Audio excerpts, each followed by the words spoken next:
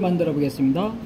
연어를 넣어주는데 이제 빵에다가 아, 자기가 바르고, 바르고 싶으면 바르고 계란을 깔아도 되는데 저는 이제 잘라피니를 좀 깔았어요. 그 다음에 연어를 요- 이렇게 말아서 살짝 올려주세요. 연어로 연어를 이렇게 해서 절반을 살짝 접은 다음에 이렇게 말아줍니다.